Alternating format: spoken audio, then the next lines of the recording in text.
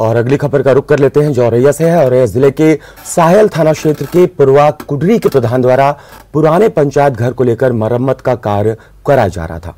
आपको बता दें, उसमें मलबे में ईंटें निकलने पर प्रधान द्वारा ले जाई जा रही थी, जिसको लेकर सामने रह रहे बुज़ुर्ग ने केवल ये पूछ लिया कि ये कहाँ ले जा रहे हो।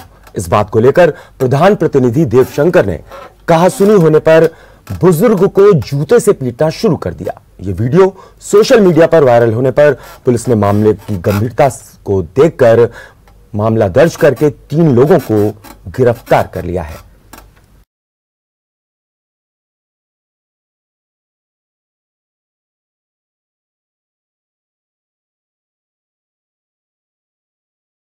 ये साहिल थाना थाना अंतर्गत ग्राम पूर्वा कोडरी है, जिसमें जो वर्तमान प्रधान है, वो पंचायत भवन में कार्य करवा रहे थे।